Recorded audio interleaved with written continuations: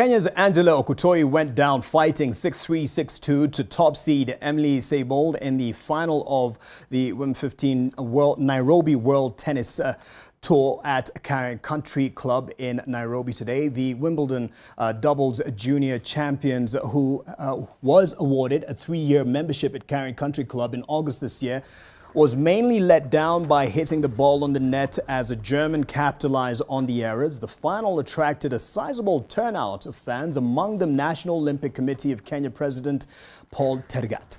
En route to the final, Okutoyi defeated Indian qualifier Shiranya Chetty and 8th-seeded Sevil Yuldasheva and 3rd seed Emma Totova from Slovakia.